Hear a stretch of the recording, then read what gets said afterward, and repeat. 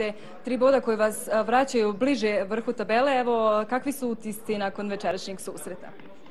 E, pa sigurno ja bih rekao delimično dobro.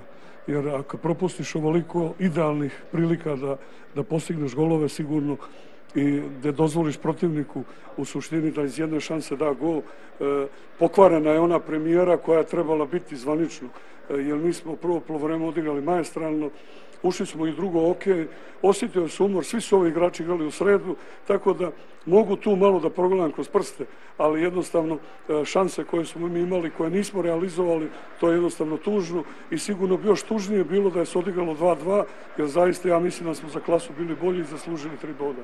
Gospodčara ide u goste ekipi radnika, ekipi koju odlično poznajete. Pa sigurno, do pre četiri kola sam ih vodio i zaista ekipa je E, igra u jednoj fenomenalnoj formi. E, vidi se da su, ja sam i gledao isto protiv Olimpika kad su igrali ovdje u Sarajevu, zaista majestralno igra, e, fizički totalno pripremljena, tako da jednostavno neće nam biti lako, ali ja mislim ako budemo izvukli 90 minuta ove igre koje smo danas pokazali, možda jedno 50-60 minuta možemo se nadati da uzmemo bodove tamo.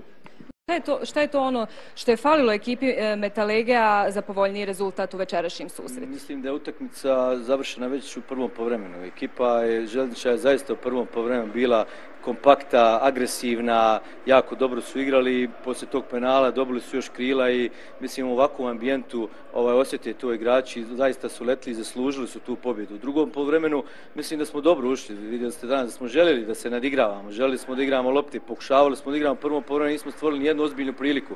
U drugom povremenu, zadnjih 20 minuta smo pokušali i, i napravili smo neki pritisak, železničar, vjerovatno zbog te kup utakmice ovaj, gdje se bili izmolili, napravili smo neki pritisak, jednu, dvije prilike, međutim, apsolutno zaslužena pobjeda železničara, majstralno su odigrali uh, 70 minuta utakmice, ja im čestitam od srca i ovim sjajnim njihovim igračima. U narednom kolu dočekujete ekipu Zrinskog, još jedan težak meč je pred vama? Pa da, to će biti četvrta utakmica, veoma teška za nas. Uh, pokušat ćemo izvući maksimalno iz te utakmice, onda slijedi pet utakmica gdje objektivno se možemo nazdati boljim rezultatima.